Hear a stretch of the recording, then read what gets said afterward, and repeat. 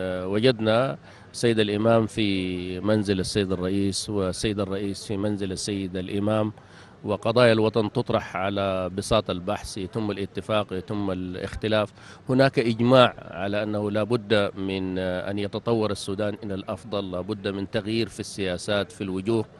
لا بد من الوصول لحد أدنى من الوفاق مع القوى السياسية. نحن الآن أمامنا قضايا رئيسية قضية السلام وهناك طرح من السيد الإمام حول تأسيس مجلس قومي للسلام تجاوب معه السيد رئيس الجمهورية.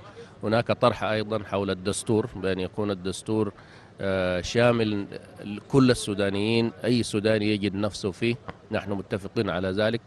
هناك أيضا رؤية حول الانتخابات بأن تكون شفافة ونزيهة وأن تكون هي المحك الذي من خلاله يتم التداول السلمي للسلطة.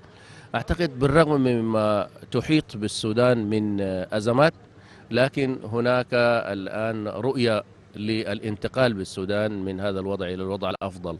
أعتقد لقاءات القوى السياسية السودانية دائما تنتج خير. هذا في الماضي كان وإن شاء الله في الحاضر وفي المستقبل.